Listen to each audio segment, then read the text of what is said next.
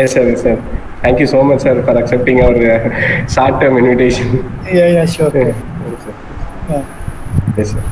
So we will start with, within another five minutes, sir.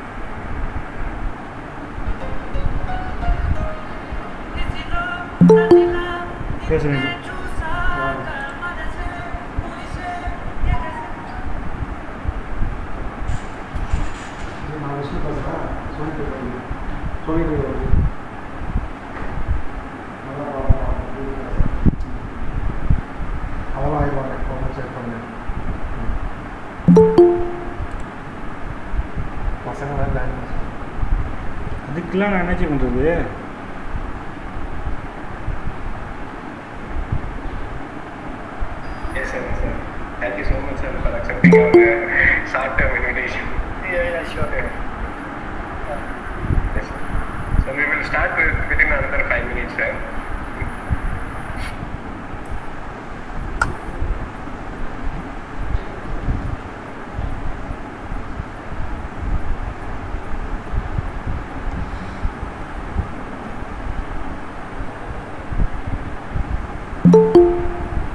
Sir, we will start in another five minutes, sir. Students are about to join, sir. Uh, they have a class up to exactly three o'clock, so they will be joining on time. So we will wait for another five minutes and we can start, sir. Sure, sure. Yes, sir. Thank you. Thank you, sir.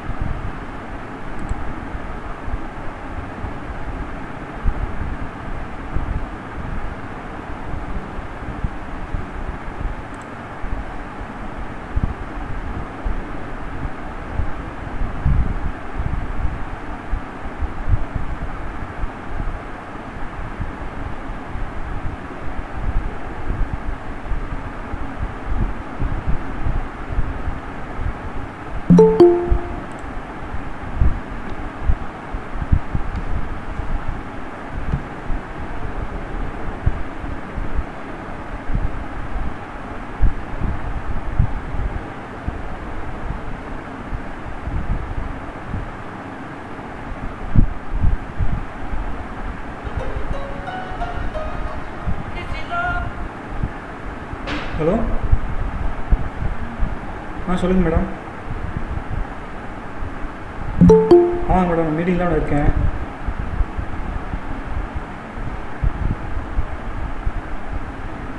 ஓகேங்க ஓகேங்க சரிங்க madam.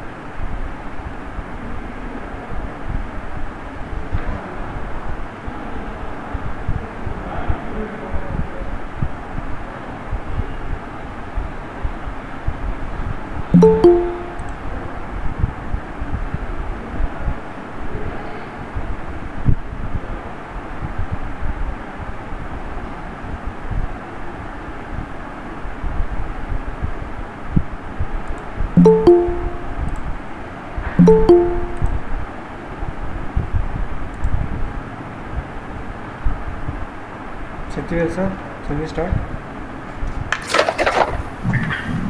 Yes, sir. Shakti Vinayagam, sir, we can start. Sangeeta?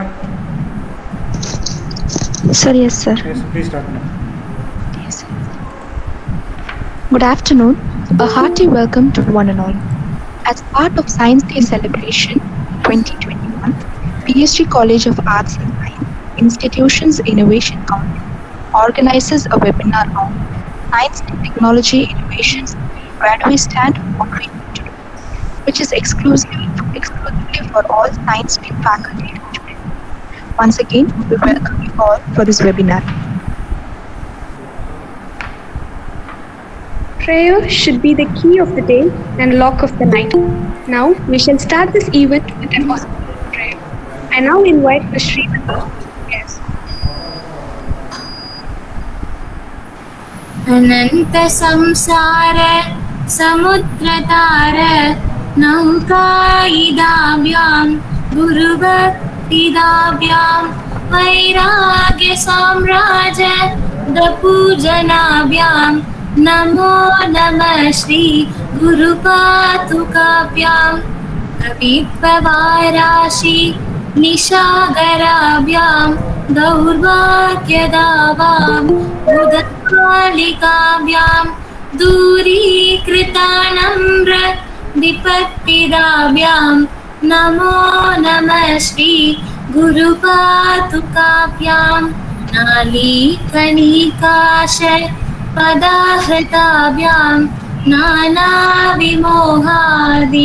निवारिकाभ्यां नामाजनाभीष्ट दधिप्रदाभ्यां नमो नमः श्री गुरुपातुकाभ्यां स्वचापराणा मखिलेष्टकाभ्यां साहसहायाक्ष दुरन्दराभ्यां स्वान्ता च भावप्रदपूजनाभ्यां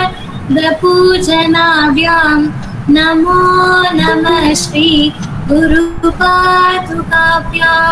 नमो नमः श्री गुरुपातुकाभ्यां नमो नमः Shri गुरुपादुकाभ्याम्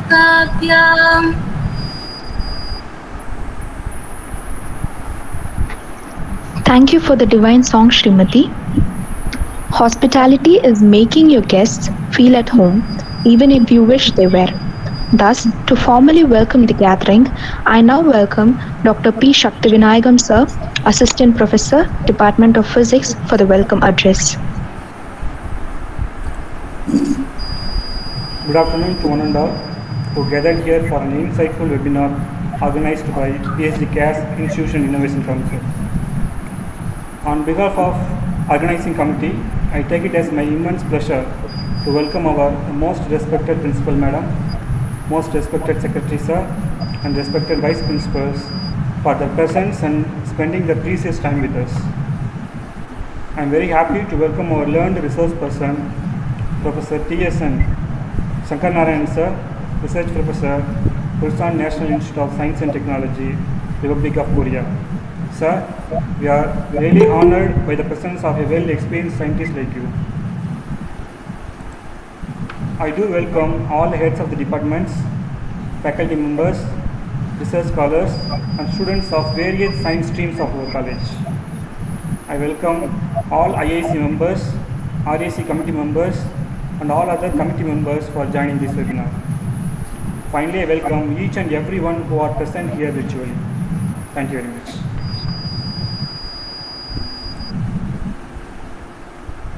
Every thought you produce, anything you say, any action you do, it bears your signature.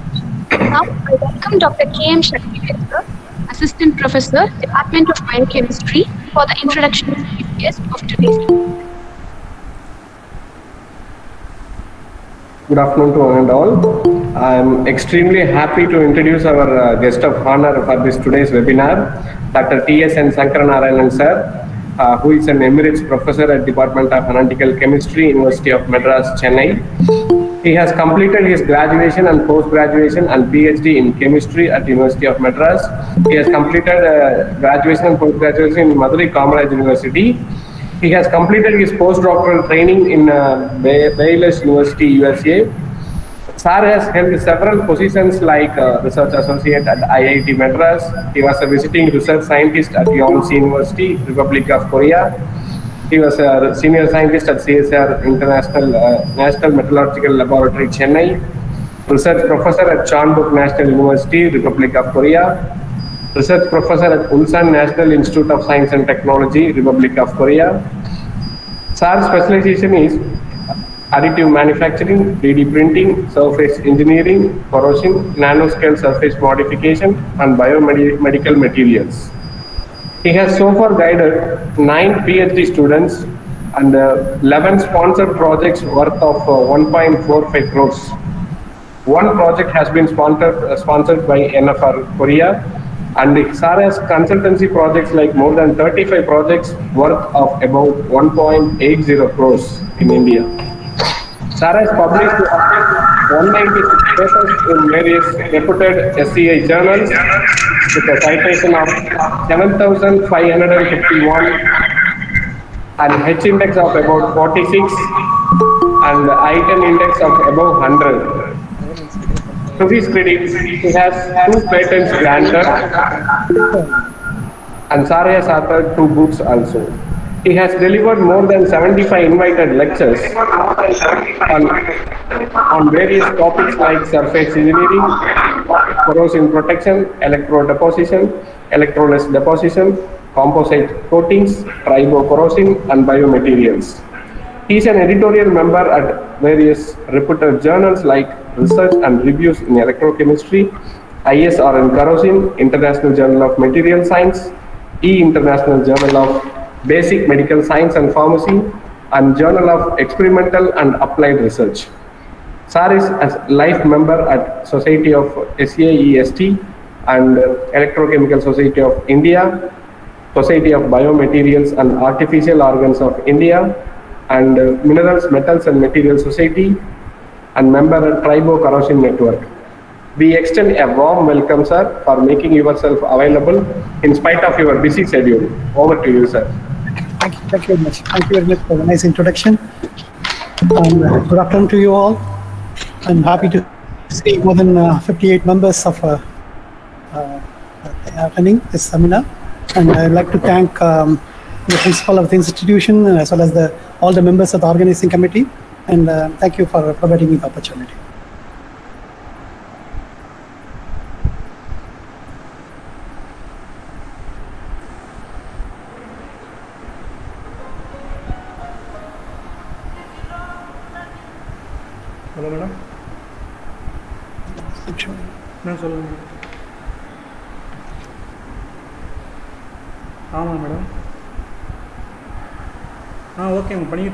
சொல்லிட்டாங்க madam முன்னாடியே okay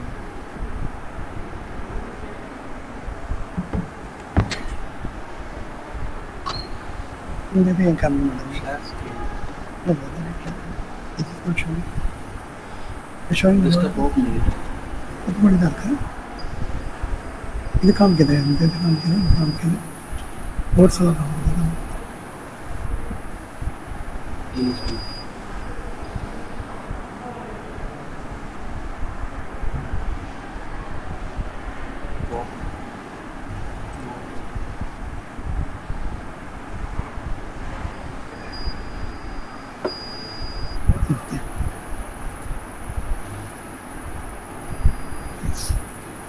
Can you able to see the slides now?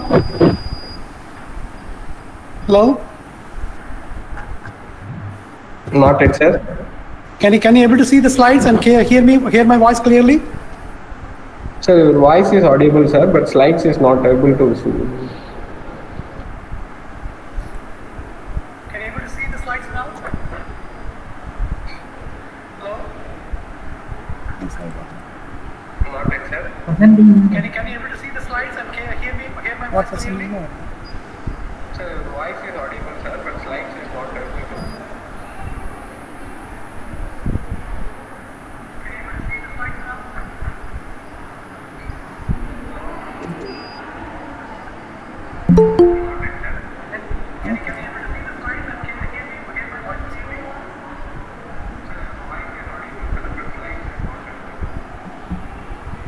Can you able to see the slides now?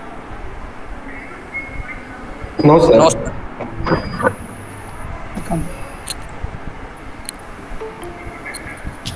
Sir, you can please just move on the slide. It's just showing a presentation. Can you move on?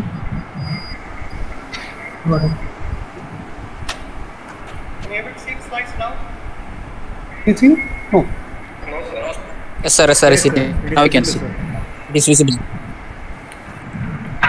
How is it? Now it's fine, sir. delay? The slide. It's just showing a presentation. Right?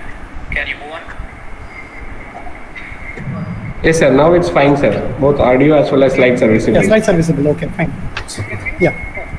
Yeah, good afternoon. and sorry for the Now you can see. delay starting up. Okay, today I'll be sharing some of my views at, on uh, science and technology innovations about uh, where exactly we do we stand and uh, what we need to do to make us uh, uh, to, contribute more towards innovations. Because we are doing a lot of science and we are doing a lot of technology also but with respect to innovations we still have a long way to go. So that's what uh, the main I'm, I'm going to talk about. It if you have the habit of uh, reading science and technology column in reading newspapers like Hindu or Express, or you should have uh, followed some, uh, have the habit of reading regularly the science magazines like uh, uh, Resonance or uh, um, Current Science, or, or if you follow the, some of the important scientific developments uh, in uh, social media, particularly in Facebook or WhatsApp, if you sort of subscribe for such, for such groups, then you could be really aware of the various developments that is happening around the world. Actually, technology is very, very important. Technology development is required for the development of man growth, mankind. And we might see that, you know, during the COVID-19 period, and when the, all the schools and colleges are shut down, when we have the, we didn't have the opportunity to learn. Okay. And uh, it is only the technology development that, you know, through, uh, that has helped us to learn through online uh, education, through online education. So even now, you know, when we are far apart from, you know, from Chennai and uh, Coimbatore, I could be able to interact with you all only through a technology development. So we need technology development in every every field of uh, uh, in every field actually. When we talk about science and technology innovations and where we stand, if you take a survey of all the innovations, okay, all the innovations and developments, and classify them by country wise, which country has contributed to which development, it is obvious then that our standing is not that good. So we are really brilliant. Indians, we really, Indians are really brilliant, and we are very good in many fields. But why we could not able to make some innovations? So that we need to really think about it. What is stopping us in making to become an inventor? So that is very, very, very much important that we need to think about. If you look at the uh, policies, no, the policies of the government. The recently, the fifth science and technology policy is released by the government in the year 2020, and we need to really know what is in stock for us and how we are effectively going to use to make us a better innovator in our field. And the, the, I will be covering up all these aspects in the, in the, the next one. So you might think that you know, uh, having after hearing this uh, introductory uh, note, you know, you might think that the next hour will be a tough time for you, but uh, I guarantee you that I will try my best to make it as interesting as possible. And uh, today is March 1st, so shall we march towards the goal of uh, science and technology innovations. So with that note, I'm starting my lecture. Okay, so before going to the presentation, I would like to put a small statutory warning that you know checking your WhatsApp and Facebook status during the presentation. Of course, this is your choice. Okay. First, a few slides about the National Science Day because we are celebrating the National Science Day. The National Science Day is celebrated to commemorate the discovery of uh, the Raman effect. This has happened on February 28, 19, in the year 1928, for which Sir Chandrasekhara Venkata Raman was awarded with the Nobel Prize in Physics in the year 1930. So that is why we are celebrating the, uh, the success of uh, um, a great scientist, Sir Chandrasekhara Venkata Raman, in in in uh, in, getting, in identifying the Raman effect, in the in, in innovating the Raman effect. So it is a National Science Day that it's a National Science Day, and the quote is, you know, the science for people and people for the science. Okay. Uh, after reading this now, you might be hearing there's something the politicians we used to use, makalal nan makkalkaga nan. This like this. It's a science concept. Science for the people and people for the science. So that is the concept that National Science Day is all about. Okay.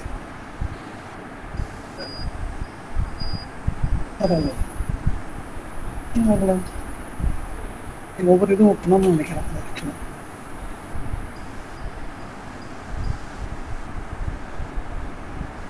Okay, let me see.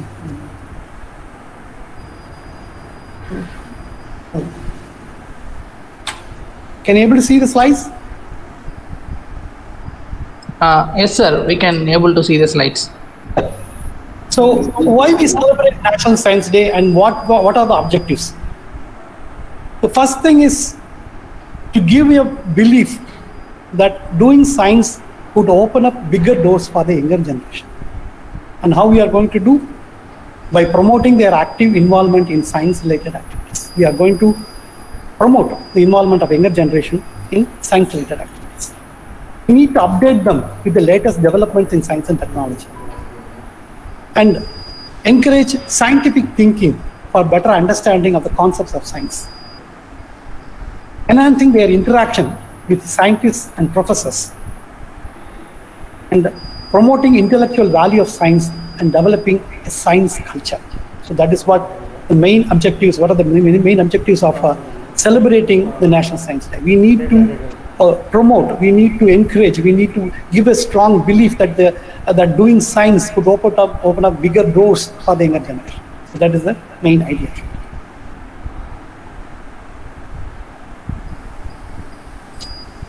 We look at the theme of the National Science Day 2021. The theme for the National Science Day 2021 is the future of science, technology, and innovation, and its impacts on education, skills, and work.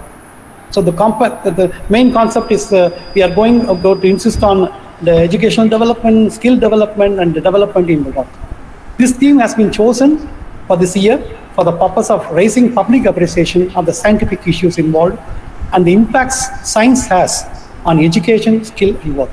So we are going to talk about how the science will be able to impact on the education, skills, and work. So that's the main thing.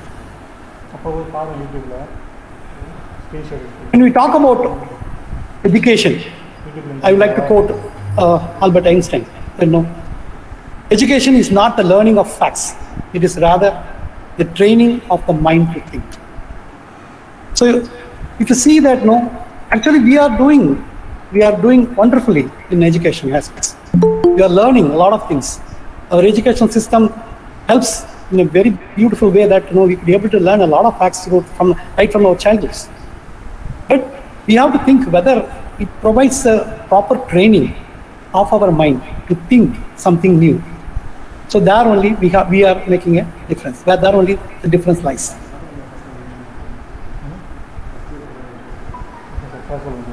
So what Albert Einstein says about learning, that is the way to learn the most.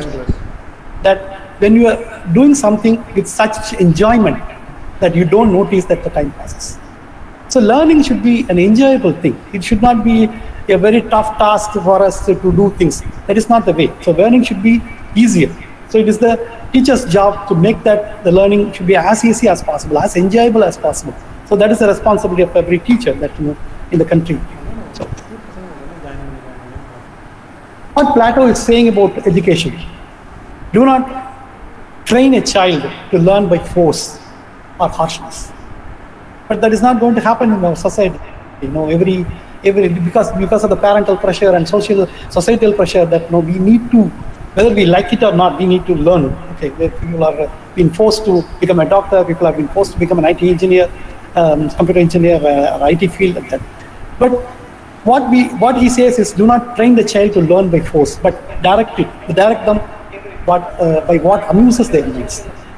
Because they may be interested in certain things and uh, that should be um, identified nurtured and developed so that's a way that you know you can make people you can develop people and uh, you can develop experts in a every area it's not only by simply forcing that somebody to train so forcing somebody to learn certain aspects that you can become an expert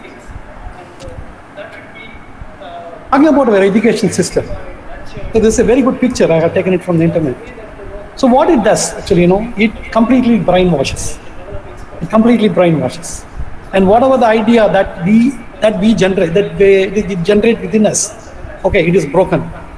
Okay, and finally, you will be awarded with a degree that you learned something. So this is the problem.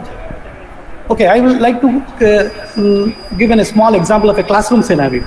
In a classroom, the teacher asks student, um, 12 words for every every alphabet. Okay, one student says A for apple, and the other student says B for ball, and C for something like that. And another student, he stood up and said A for another apple. He said A for another apple, but that was not received because that is technically is a correct thing because the teacher asked you know to use the word A and a, in a word. Okay, instead of uh, apple, because already one student said apple, so he said another apple. So the problem is that you no, many in many places, no, we are trying to uh, kill the concept of uh, thinking differently. So that is very important, you know, in, in terms of uh, achieving uh, uh, and some innovations. So we need to think differently rather from the others. Okay. And our education system again, no, we are more concentrating on testing the memory rather than the level of understanding. Of course, things have changed a lot and a lot of improvements in the evaluation system as well as the grading system. We need to appreciate, but still we have a long way to go in this aspect. So that only makes it because learning the facts alone is not going to make you a, a big developer or innovator in science and technology. You may be learning, you may be able to understand, you may be able to appreciate, you may be able to use the technology, but not develop the technology. So that is the problem here. And another major issue, okay, with respect to learning. It is all, we always have the parental and societal pressure. The same person have to become an expert in mathematics. He should be a good, good in uh, music. He should be good in sports. He should be good in uh, um, all other aspects. It is, it is very difficult. You know, we, every every child, you know, is facing in the of the is facing the pressure from the parental as well as the society. But you know, you, the, the expectations are much higher. The expectations are much higher uh, that we some, some that many people cannot able to deliver in, from the expectations. Actually, this is one picture that I got from the internet and I wrote some uh, captions for that. You know, what is expected from the society is that we need to fit into a pre-designed cage as we go. Let's see that, you know, it's a pre-designed cage. So what the expected is, what the society is expected that you, we should be able to fit into the pre-designed cage. And many of us feel that we don't have an option. That is the problem. We don't have an option. My parent says or my relative says that you need to be a doctor. There is no other choice. You cannot become an alternative person. You cannot become. You need to fit into that pre-designed cage. So that is why the problem here. We, we need to have uh, not only the educational system, which is uh, no uh, focusing mainly on the uh, testing the memory and uh, uh, not the level of understanding, but your expectations from the society is also like that. If you look at the, so we are good in research also. And talk about you know, um, this is a statistics about the leading scientific publications, how the countries are doing. And if you look at uh, where India stands, you know, we stand, our contribution in global contribution share is 5.3131%. It is pretty good. We, we are much ahead of UK, we are much ahead of Italy and Germany and Japan. That is pretty good. That's pretty good, really pretty good. Okay. What happened? If you look at the nations and regions with the highest, highly cited researchers, and I could not able to see India anywhere. So that is the problem, where it is going. And uh, when we asked about people, you know, many says, no, uh, we need not talk about that. We need not talk about that. So that is the question. We need to, where uh, our people are there, our, um, none of them in, from India is identified as a highly researcher, cited researcher. So what is the problem with our research work? Are we publishing something rubbish? It's not like that. We are publishing good, but still it is not enough. It is not enough. So that is the way that is going on with respect to research. Consider the patents. India marks the highest growth in filing for international patents. Highest growth in filing. And it is mostly dominated by Indian pharmaceutical companies, particularly Reddy's Laboratories, Sun Pharma, Cipla, and Lupin. Okay. We should be happy that you know we this you know this patents you know gives an idea that you know we are going towards innovation. We are we are developing something new. So then only that's why then only you can be able to patent it. Okay. But what happens is you know is the most important thing is it is not the question of filing the patent or getting the patent awarded. It is the question of how many patents we could be able to translate into technology, into, into actual products that is usable in the uh, by the by the consumer or uh, if the, some companies are interested in buying the patent and uh, developing the product. So in that terms, again, we have a problem. If you if you convert, if you if you look at the ratio between the number of patents filed and awarded and how many of them are actually transferred to a product or a technology by the, some by some company, it is extremely worrying because it is when you uh, it is not like publishing a paper. When you file a patent you need to maintain it. And for that you need to pay subscription every year. That involves a huge amount of money. It involves a huge amount of money. Maintaining a, uh, a patent is, is not easy. We may have to pay at least one lakh one to one to two lakhs per year. That much. So it is very difficult. So and there is, and the patent is valid only for five to ten years. Beyond that it is open and moreover, if you file a patent only in India, it is valid only in India, in not in other countries. You cannot protect the usage of that uh, thing in other countries. So you need to protect it international means you need to file an international patent, or you need to buy in uh, uh, file it in many countries. But what's the point in spending uh, so much of uh, money in protecting your patent, and finally it is not bought by anybody? So that is the condition here.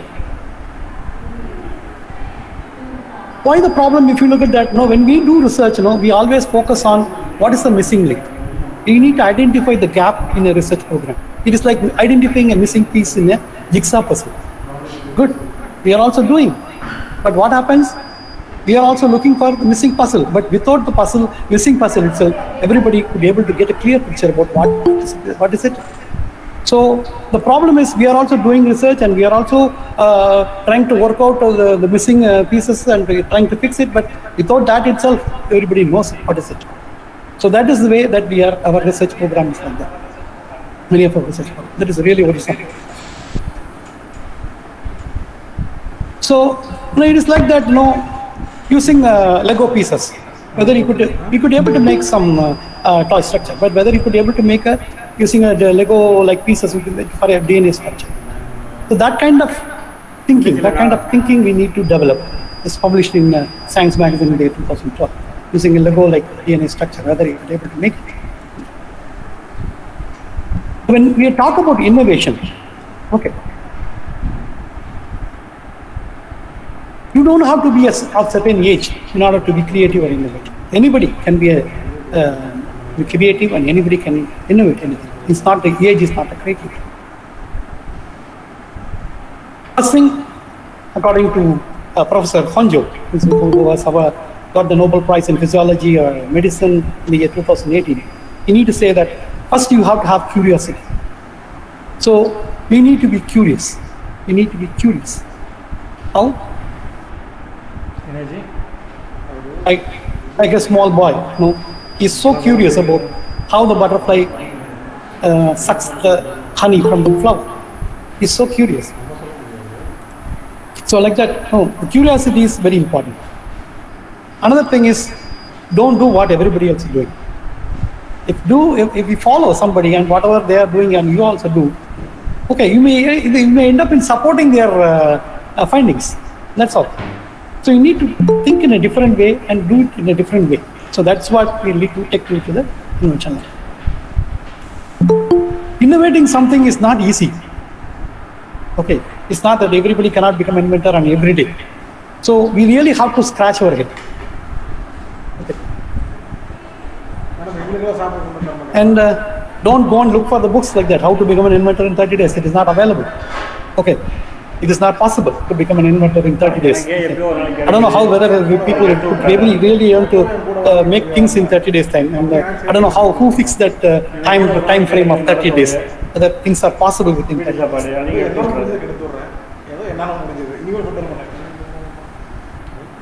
Okay, if you, Professor Alfred Nobel, who is the founder of the Nobel Prize, says that if I have 300 ideas in a year and just one turns out work, I'm satisfied.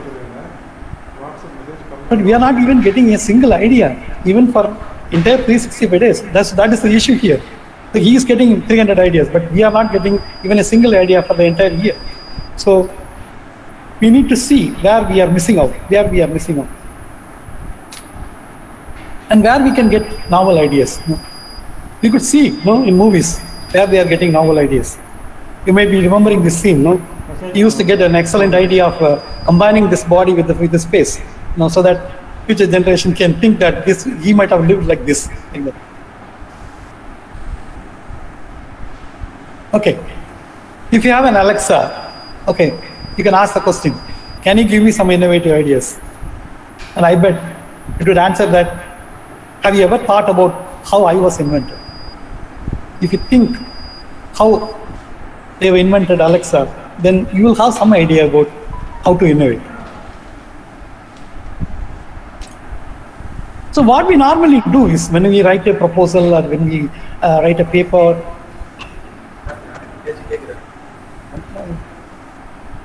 So um, when we um, write a paper or we write a proposal, what normally we do is to uh, browse in it. And all of a sudden, when we look at something, then immediately we call it as, yes, I got it, Eureka, I got it. It is not a novel idea that we are what we are getting. What we are getting is an understanding of what other people have done it. And uh, you may have some slight modification of it, maybe a delta extraction. Okay, that's what, what we got actually. But you think that that itself is a novel uh, idea or novel work or you are trying to end up in some innovations or like that. So that is the problem here. I used to read some of the um, scientific science news from in Facebook, in social media, as well as Twitter and other things. So I happened to read one such idea that you know, in- was published in Graphene Info, where they said, no, the, a group of uh, researchers from China, they come out with a novel strategy. What they did is they stitched together reduced graphene oxide. So you might be knowing about uh, graphenes, uh, graphene oxide, and reduced graphene oxide. It is occupying a huge role. It plays a tremendous role, and it is into everywhere. Graphene, graphene oxide, and reduced graphene oxides are, are in every field nowadays. Okay. So what they did is to make it the film stronger, reduce the graphene sheets. There. They stitched together the graphene sheets. And I asked my friend, you know, it's only a joke. I asked my friend, why we didn't get this idea? We are also working on graphene and reduced graphene oxides. And he immediately said that, okay, it's only a joke. Okay, he immediately said that, no, we learned about graphene oxide and uh, reduced graphene oxide and graphene. But unfortunately, we never learned tailoring. We never learned how to stitch. Okay, so it's only a joke that I'm saying because we need what what it indicates that no, we need to um, learn across the field. We need to learn. We need to be able to understand and apply the concepts from other fields also. Then only you can able to you can take it to a higher level, to a better to a different level. It is only a question of stitching uh, a few sheets together, but it didn't strike us. So that's a way in which the innovations are going on. Another thing, study from Dublin, Ireland. So these researchers, you know, they did a liquid phase exfoliation. Exfoliation is separation, separating. You know, what do you exactly exfoliation? Uh, if you take a notebook, you know, and uh, dip it in a bucket of water, you know, immediately the paper, uh, the notebook, you know, expands, absorbs the water and expands. It's called, something called exfoliation. Okay. So they did a liquid phase exfoliation of graphene, boron nitride, and tungsten disulfide nanosheets. Okay, these are all find very, very good applications in a variety of areas. And they used Irish whiskey for that. Again, a joke. I asked my friend, we should also try this. We should also explore this. He said immediately, yes, yes, we should also try that. I asked whether we can try graphene or boron nitride or tungsten disulfide. And he coolly answered, no, it is the, it is the Irish whiskey. So we are also seeing, you know, we are also uh, thinking, we are also thinking uh, uh, many solvents and um, alcohols, etc. But we never thought of using a whiskey for uh, doing an experiment, you know, to for, particularly for explore for exfoliation of uh, graphene or boron for two-dimensional materials like that. So it is the idea that makes a difference. It is the idea that makes a difference. For us, you know, whiskey is a totally different thing, and we should never um, go for it for a scientific experiment. Okay, it is something different. It is something for uh, people are drinking for pleasure. It has nothing to do with science. Okay, so that's that there lies the difference. And they thought about using a, a whiskey, Irish whiskey, for exfoliation. So that's the difference here. And another important development, you know, people used to open, you know, bottle caps using their tooth. And one person has come out with a development. Okay, what is that? It is a dental implant. It's a titanium dental implant in which they modify the top surface. Okay, like a opener.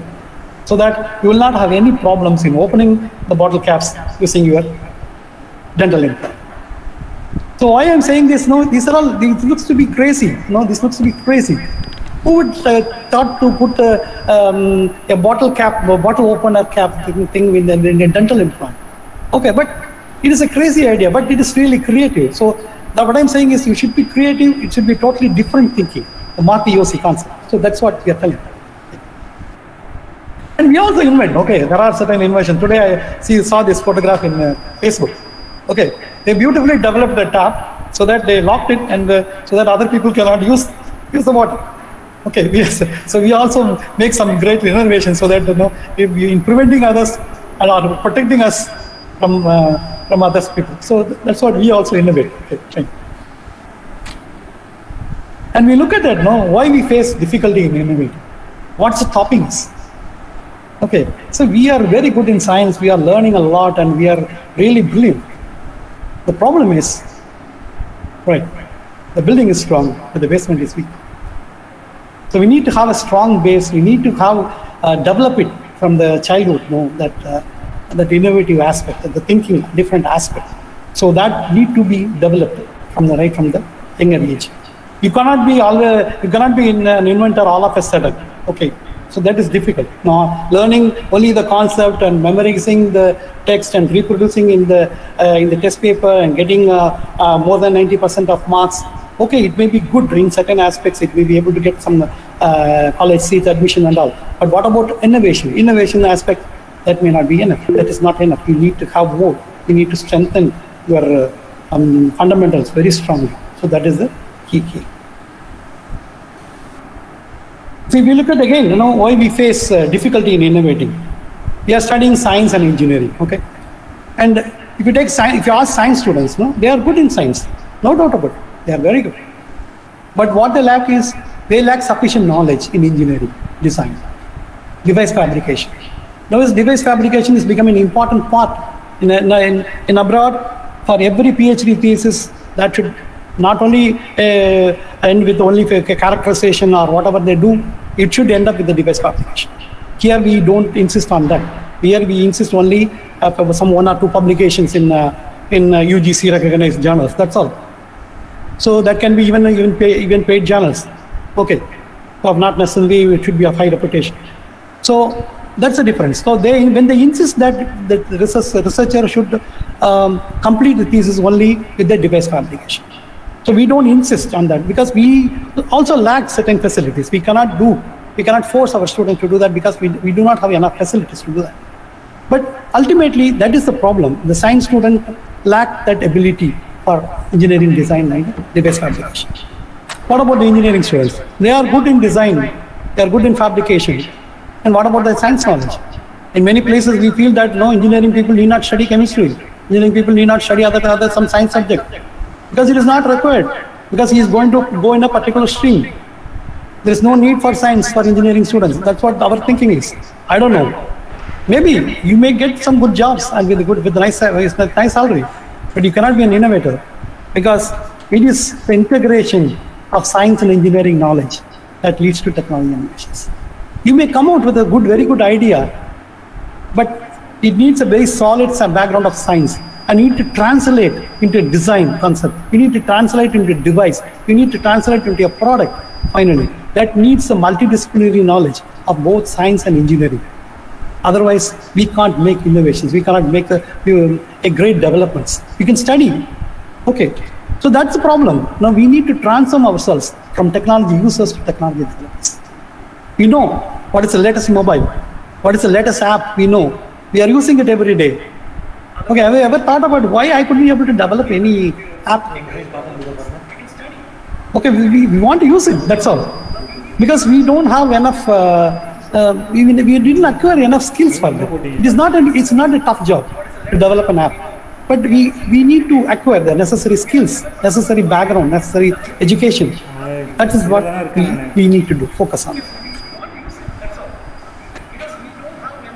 So, it is not only having the idea in mind, but we need to assimilate the ideas. So we will be having plenty of ideas, you know, we have plenty of ideas in your mind.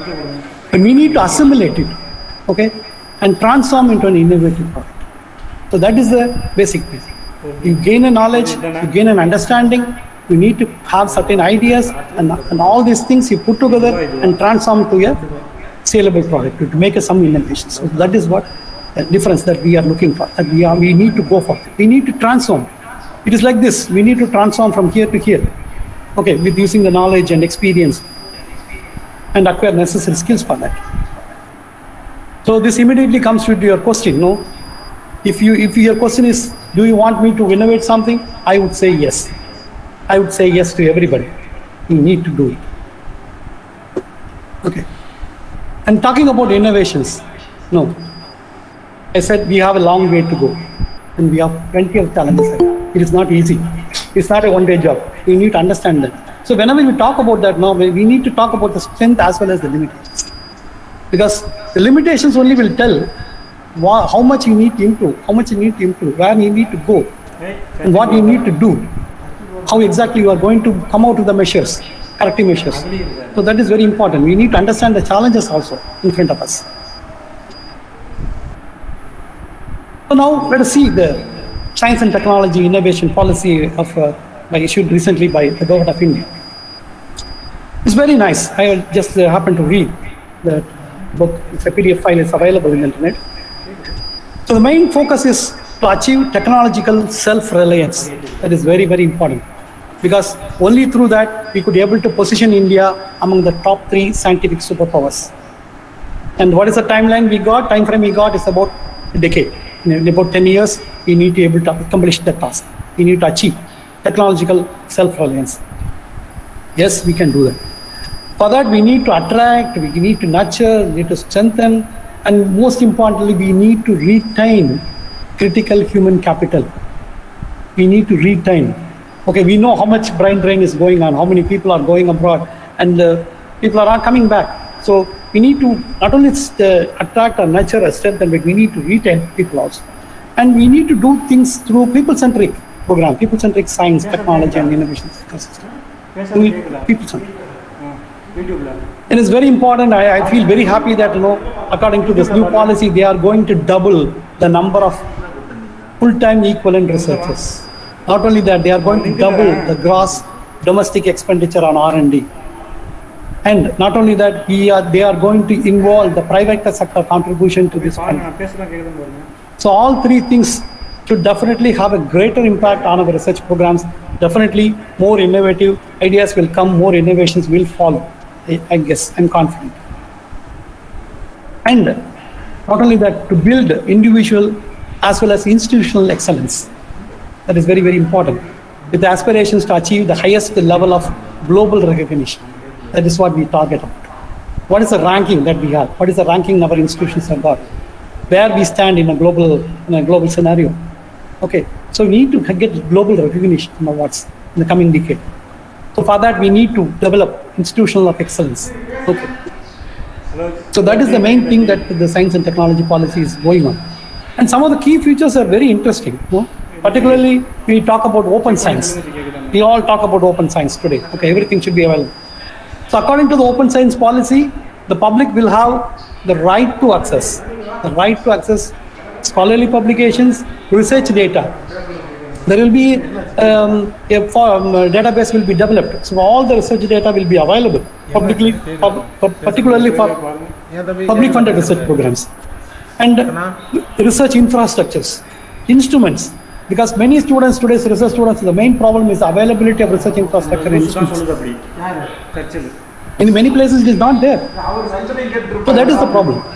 In computing facilities, libraries, learning spaces. So all these things, open space is going to be Okay. So it is not yet open. It is not yet open. We are all waiting, but when the door will open. Okay. You were talking about open science, no? You, you might, uh, I need to say about this uh, lady, Alexandra Elbakyan. Okay, she is actually the creator and the founder of Sci-Hub. This is a website and which provides free access to research papers. And uh, according to a recent statistic, they said over a billion, billion of science articles are downloaded from this site since 2011. Hmm, okay, and she is called the Sciences uh, Pirate, Pirate Queen. And uh, it is interestingly, she is listed in the top 10 people that mattered in science by Nature publications in 2006. Because many of us we don't have access for research papers. If we don't have access for research papers, how could we know what exactly the other research has done and what I need to do? What I need because we need to identify the gap in research. Then only I can able to can't make some contribution. There is no point in repeating the same work again and again. And without knowing what they have done, how they have done, how could I be able to and explain the researchers in India could be able to make a contribution? But so far, Science Hub has uh, done a wonderful job, though it is against uh, uh, the ethics, against the copyright violations. Yes, it is a copyright violation. It is against ethics. We should not allow, we should not uh, give, provide free access to uh, the somebody's work. So now uh, the um, publishers like Elsevier, Wiley Scientific, as well as American Chemical Society have sued for, um, for copyright infringement and they requested the IT ministry to block access to Sci-Hub. And uh, Hub, now you cannot download papers published in the year from 2021. The court has given the ruling that from 2021 you cannot download uh, recent papers, particularly from 2021 you cannot download from Sci-Hub. And uh, we researchers are really facing a lot of problems because as I said, the open, open access door is not yet open for us. And we still, we are struggling where, where to find articles like that. So this is the website website that knows uh, Sci-Hub. You'll be able to see. Okay, now the access is denied, for, particularly for papers published in 2021. Because what I'm saying is that science and technology policy has come out with that open science program, but still it, is, it, uh, it, has a long way to go to implementing because. So that's why they, they talk about no one nation, one subscription. This is the latest in the series, one nation series. Okay, one nation subscription, and as, as per the thing, the government of India will negotiate with the journal publishers. Okay, and all individuals in India will have access to journal articles. That's a wonderful news, but we are all waiting when it is going to happen. Okay, and there's no need for any individual institutions to pay for journal subscriptions. That's a good news, really good news. But when it is going to come, then we need to wait. And what the policy says about research facilities, because as a researcher, we always look into the money in open access and research facilities. So as per the open access policy that all public funded, all public funded scientific resources, that is funding received by DST and all other funding agencies, will be made shareable. Some people might ask, it is already there. Yes, it is already there, but it is, uh, I don't think very only few people have shared that. Okay. Now, the, according to the new policy, it should be made shareable and it should be accessible nationally with the use of digital platforms. Okay, you should be able to access. Okay, so that is the main, the main important feature. It. And these scientific resources not only limited to research infrastructure or laboratory facilities, but also for artificial intelligence based resources, high performance computing facilities. Because these facilities are available only in second level release. Now they say that as per the open access policy, that even if you are sitting in Coimbatore or in your institution, we will be able to use these facilities. Of course, the mechanism should be implemented and the people should be cooperative so that everybody can become a good learner and uh, contribute much. And we also talk about capacity development, particularly on three aspects. First, on education research, how we need to develop our capacity so that we can go towards the innovation. Okay. To include true scientific temper, discipline, honesty, national pride, adherence to the principles of justice, gender parity, ethical practices, and the spirit for fair competition and brotherhood. Beautifully drafted. Okay, beautifully drafted. So we need what we need to inculcate in our to our people, to our, to our students. And creation of innovation hubs is a fantastic thing. It should be done in partnership with higher education institutions, private industries, and local communities. So local communities will say what they require, and private institutions, industries should be ready to take it up and, and make it as a product, whereas the higher education institute should coordinate and then uh, through the innovation hub they should be able to develop what is required for each and every local community. Okay, and not only that, they collectively share the resources for curriculum renewal as well as faculty development. All these things in the renovation hubs is aimed at. This is fantastic news actually. And uh, to introduce innovation and design thinking in the curriculum. This is what I was telling about. The science students, they lack engineering design. So we need to introduce the innovation concept, the design thinking in the curriculum itself. And that too from the child, from the, from the early ages. So that is the main aspect that is going to make the difference in the, in the coming years. So we need to achieve that, uh, that you know, self-reliance, not something important.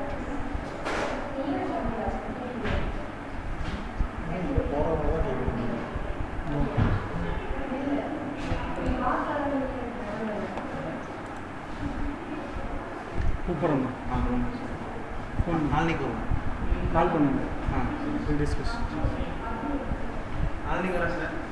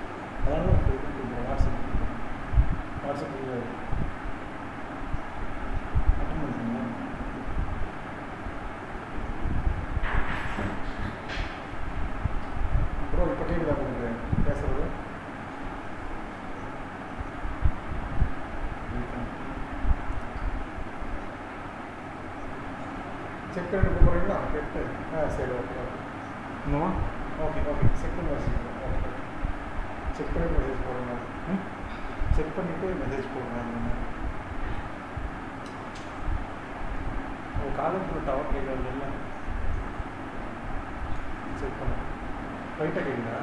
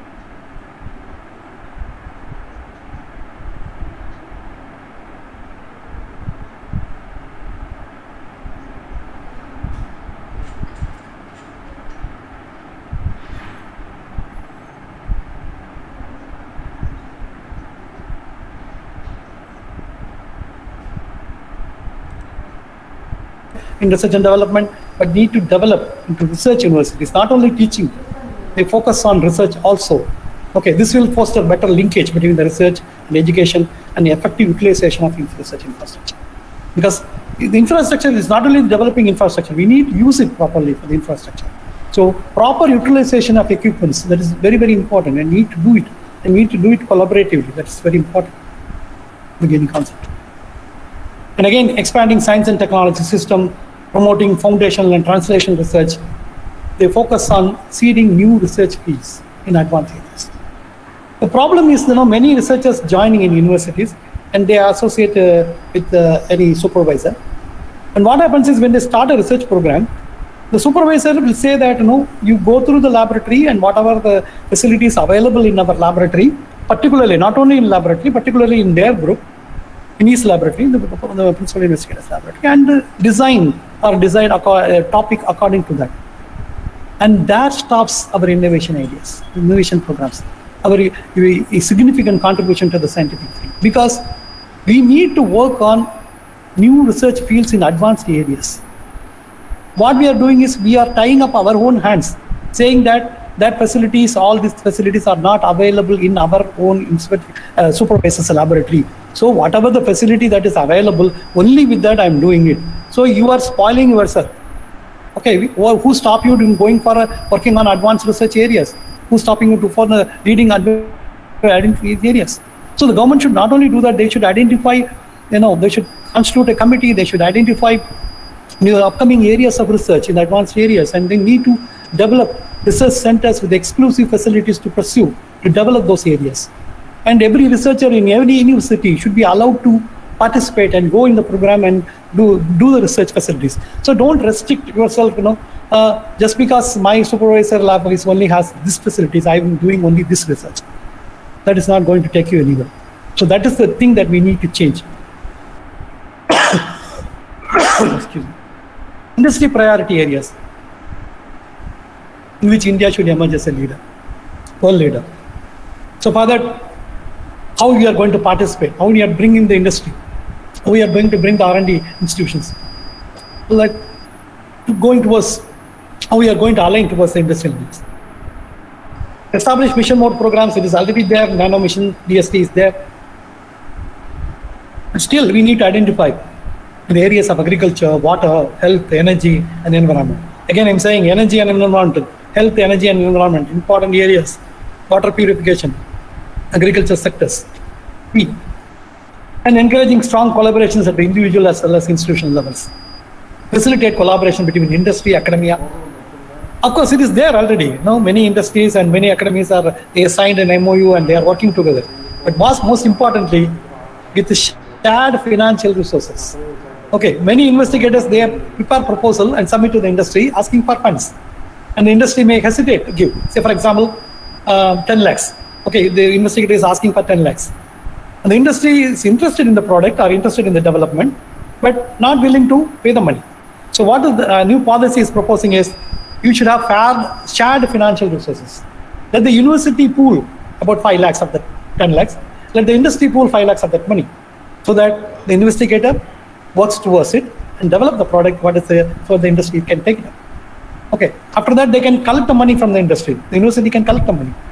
So that sort of change we need to go for. Okay, the shared financial resources. It may be risky. Sometimes you may end up, you may not end up with the, what you um, aim to accomplish. In that case, you cannot say, no, I have given you 10 lakhs, but you didn't deliver it. Okay, so that should not be there. They should also be ready to face the risk and ready to share the benefits. If, if technology is transferred, the university is going to be benefited because all the money is going to come, all the royalty money as well as the initial principal amount is going to come to the university. Enhancing the quality of research, we have been always talking about enhancing the quality of research, okay, through research excellence and uh, develop a talent pool, and these all will always be there. And we need to work on that continuously. Research ethics, that is more important, and uh, in many places, the ethics is gone, okay. Uh, that is a sad part of it actually. And uh, again, safety protocols follow all these things. There are some other guidelines that. And uh, main thing is deepen the industry academia linkage. It is already there, but we need to work on that. Foster critical thinking and the scientific, uh, impart scientific temper at the school and undergraduate levels.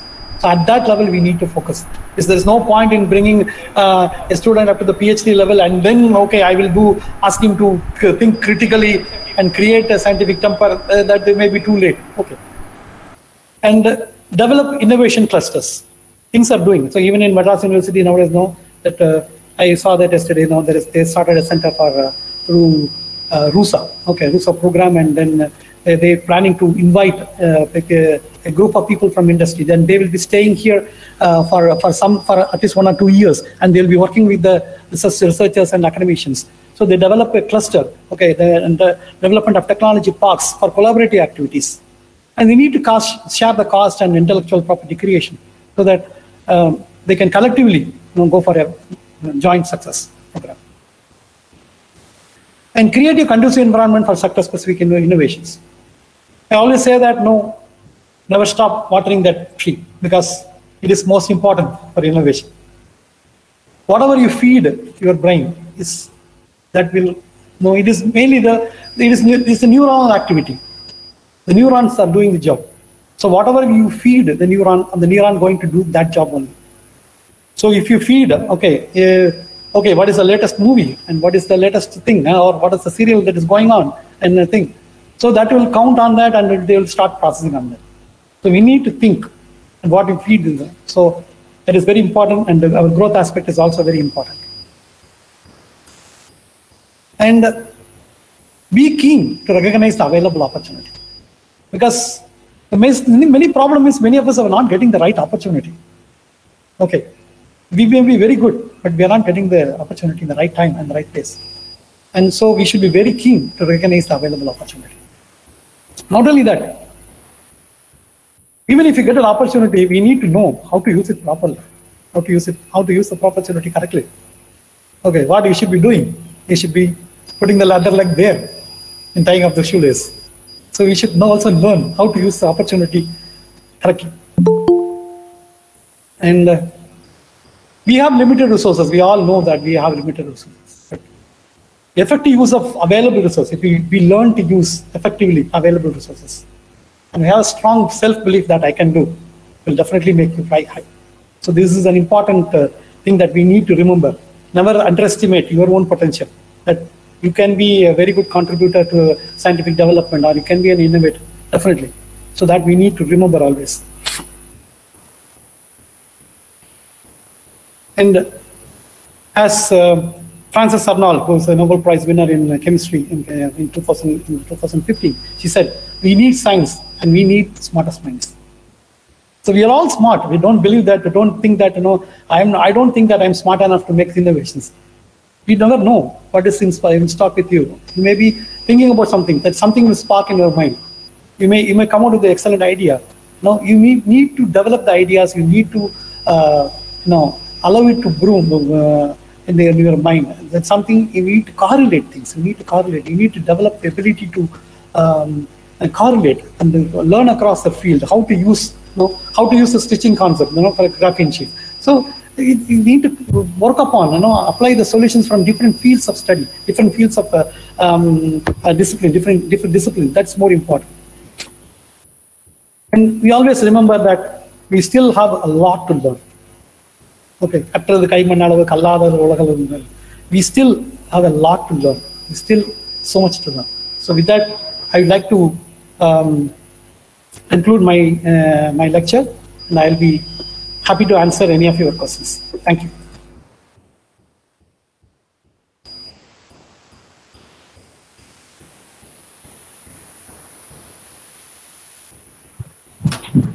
Thank you, sir.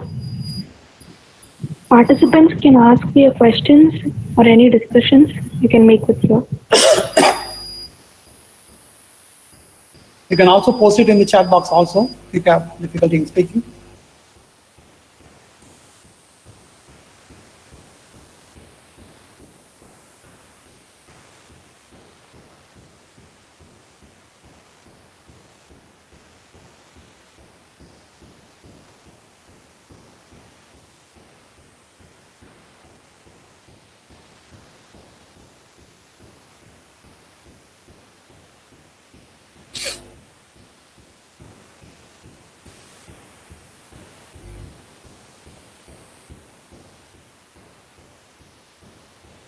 What we are going to left out for the future generation. What we are going to left out uh, instead of answering that, no, we um, we need to think what we are going to really have. No, say they say that no, we don't ask a child what you want to become, whether you want to become a doctor or engineer. Okay, you ask the child what you want to do it for the society, what you are going to contribute for the society. Okay, so that kind of uh, thing that we need to cultivate for uh, the younger generation. So we you know we need to preserve our nature. You know, we need to concentrate on uh, uh, global warming. You know, it is it is really getting hot. You know, it is really getting hot every day. The temperature is rising at least by 60 degree.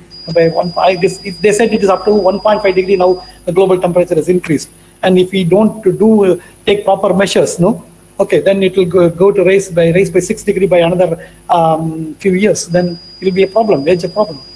So then we need to concentrate on uh, you know um, protecting our environment, uh, the global warming. All these things are very important, and particularly you know the younger generation we need to teach you know uh, that you know materialistic things. Material is required, money is required, but it is not everything. That need we need to teach teach them. So that is more important. I feel that you know. money is important. Money is important for everything. Okay, we are always you know researchers going behind the funding agencies. Please give us money. Please give us money because we need something. We need money. So money is important. Money is important for everybody. Okay, but something beyond that also we need to think. Not only we need to limit only ourselves only for the money and materialistic benefits. We need to think, think much beyond that.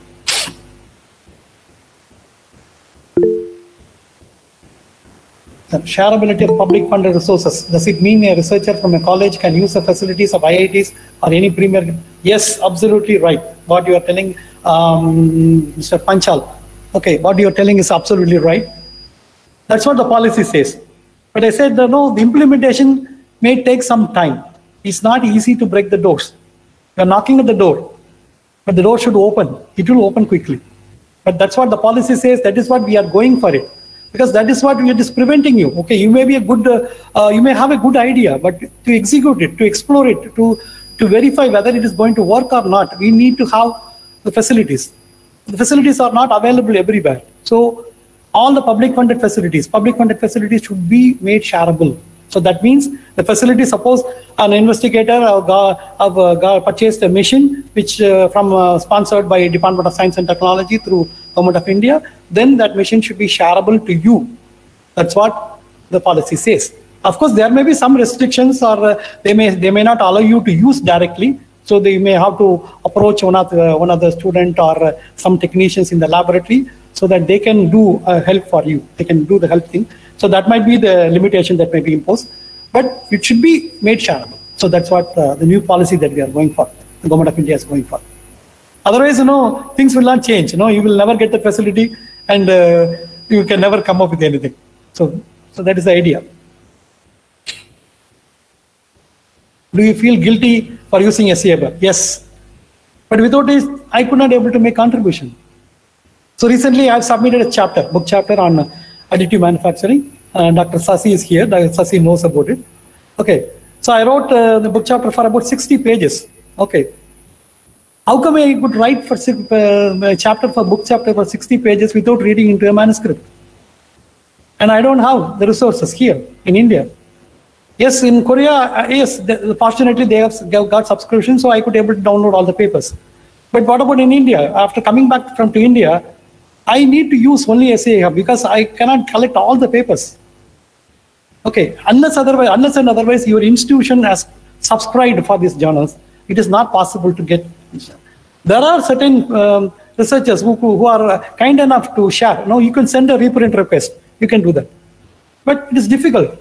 And without that, we cannot write. Without that, we cannot write. So, I'm saying I have used Sci-Hub, and uh, I don't. I feel guilty, but I do not have a choice. I do not have a choice because I feel that no, the chapter that I am writing should be useful for the readers. Ultimately, no, for, for whom you are writing, or whom you are working, somebody should be uh, benefited out of that. Somebody should read a good stuff. Okay, so there is no point in writing just like that without reading. So unless otherwise the doors are open, I don't have a choice. So that's the thing.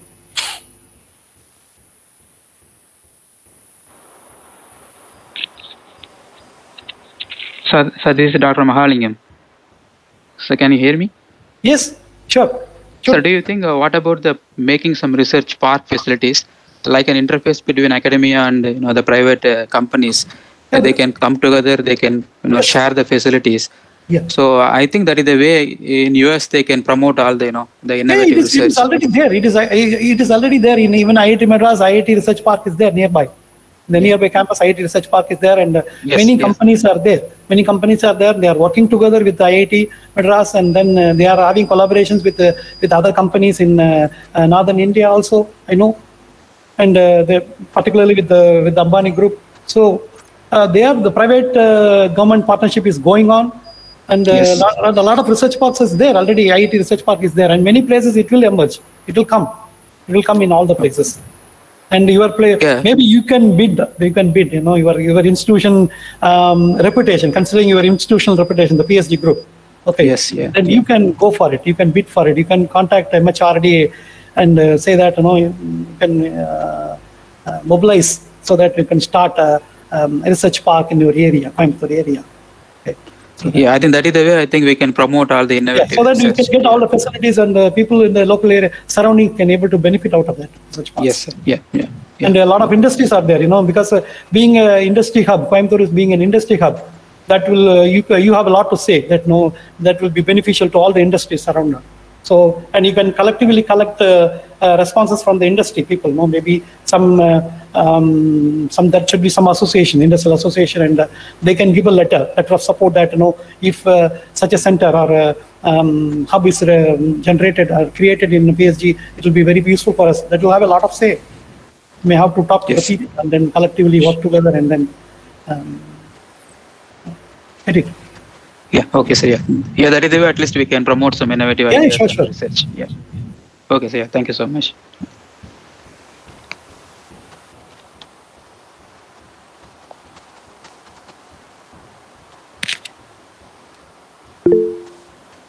For reviews on the competitive examinations of our country, do you think they are beneficial for uh, finding researchers? No, through competitive exam, we cannot identify a researcher. That is difficult. Now, once I said in an interview to the committee members, no, the sensors, the sensor that would be able to detect the willingness of a person to work is yet to be invented. We don't have a sensor. Whether a person is willing to work, willing to make significant contribution, we can't use any sensor. There is no such sensor available. Nobody has invented anything. So like that, it is difficult to identify a researcher through uh, competitive exams. But we are still following it, you know, because we need to have a system. We need to have a system to select people because there are several thousands of people. We can't give opportunity of the country, the, the science, the funds are limited, so they can't give fellowships to each and everybody that uh, whomever is interested in research. So me, they need to have certain device. And time being, they are coming uh, coming out with a competitive exam, and uh, they they go for uh, uh, based on their uh, um, master's degree program or whatever it is. So based on that, it is being evaluated. But um, research capacity and research ability is totally different from uh, passing a competitive exam. So that I could say that.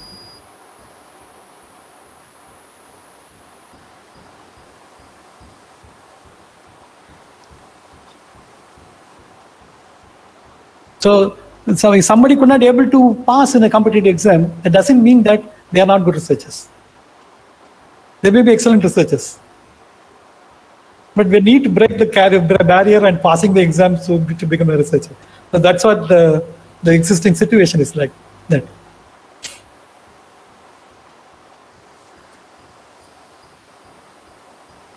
That's what no, research is something different. Research is not like a college degree program. It's not like a master degree program that where you learn okay some of the like inorganic chemistry, organic chemistry, or uh, biochemistry, or uh, no some genetics or something like that. Learn and write an exam and pass. Research is not like that. You need to um, you know develop many things. Okay. Actually, now our evaluation system for even for a PhD program is totally different. You know, what we insist that we need to collect some data and we need to uh, submit a, a book finally to the university. We need to publish at least one or two papers in international journals, and based on that, some examiners will evaluate and uh, a degree will be awarded to you. It is not the, like the research program. Actually, research involves, you know, if you want a person to be awarded with a PhD degree, now he should have acquired many skills.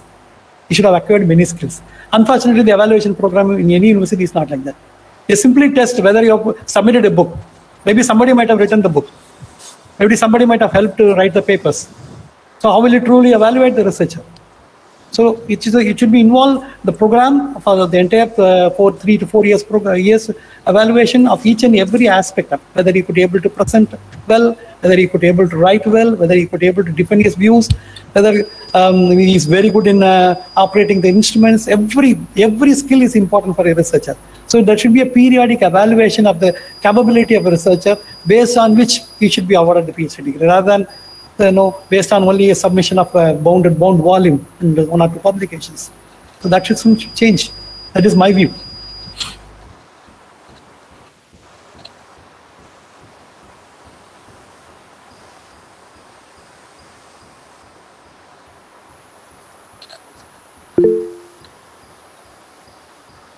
How about future scope for the science stream based person? Yes? Sasi, don't you are ever a science person. No, don't uh, don't say that science stream has no no scope for it. Science has a lot to offer. Science without science, nothing is there. Okay, science stream uh, based person has certain future is there. Of course, there are stiff competition.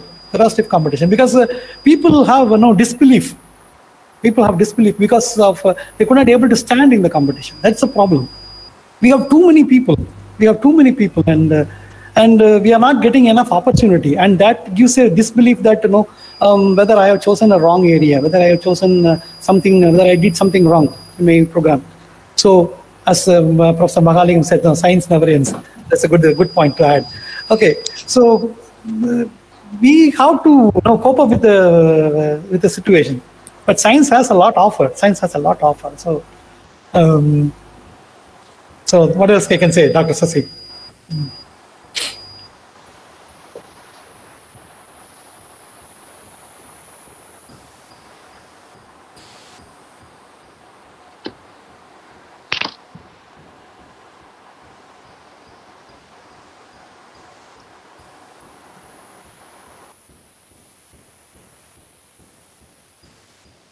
Thank you, Dr. Srini.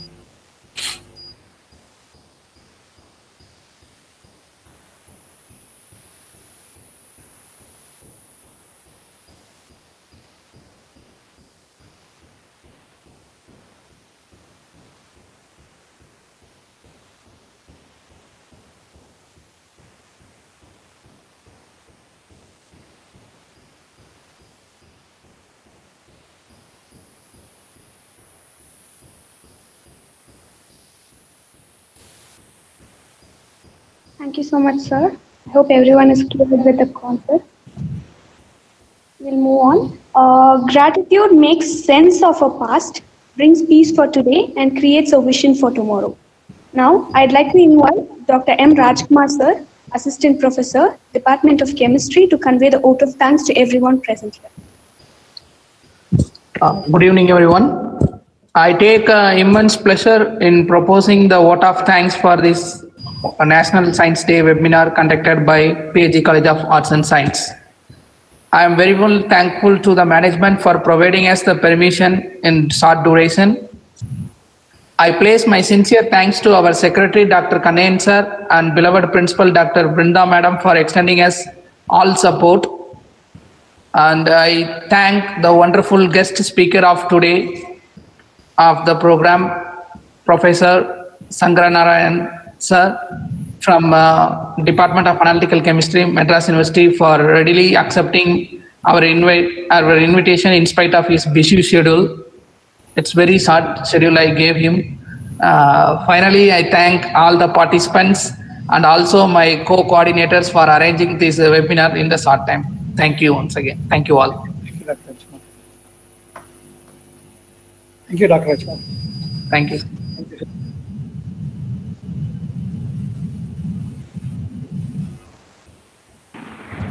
very much, sir. Thank you, sir. Uh, we can wind up the webinar, sir. Thank you so much. Thank you, sir. Yeah, sure.